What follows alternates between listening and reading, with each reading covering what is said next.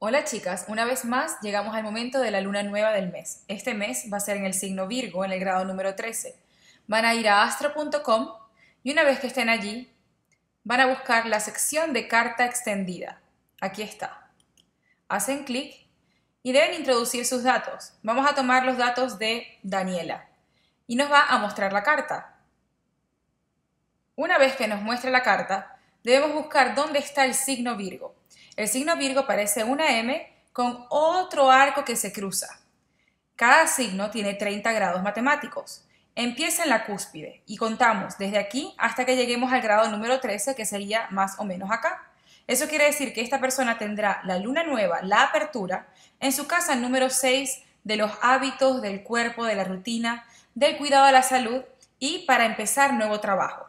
Es bastante sencillo y creo que todas podemos hacerlo para descubrir dónde se va a dar la apertura que tiene energía en las próximas dos semanas y que manifiesta en seis meses. Pero ¿saben qué? En noviembre ya empieza la acción.